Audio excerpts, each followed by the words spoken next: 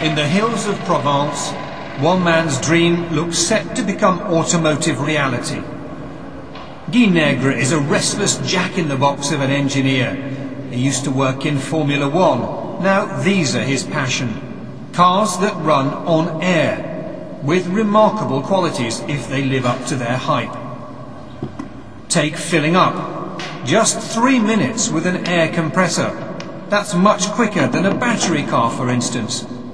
And in a carbon-conscious age, the urban emissions of this car are just air itself. The air is stored in lightweight carbon fibre tanks in the chassis. The engine sits in the chassis too, at the back.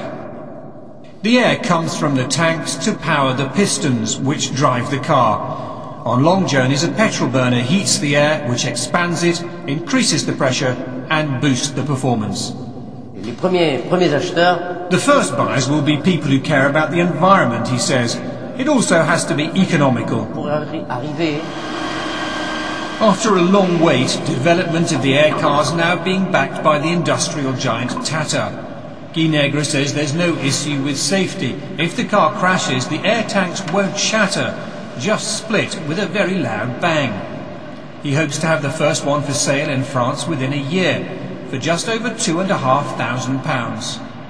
I'd like to think he would succeed because, you know, we, we should be supporting this kind of technology. It, it is a move in the right direction towards uh, potentially sustainable personal transport. But? There are buts. Um, there are still engineering issues to be overcome. And it's how effectively those issues can be overcome to produce a package that's going to be acceptable to the public. Top speed of next year's model will be more than 80 miles an hour, according to Guy though the prototype I drove didn't give that impression.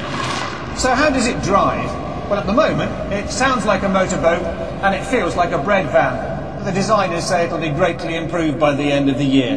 Certainly, if they keep their promises on price and fuel efficiency, it will sell. You could just be looking at the beginning of the end of the traditional petrol engine. Roger Harrabin, BBC News.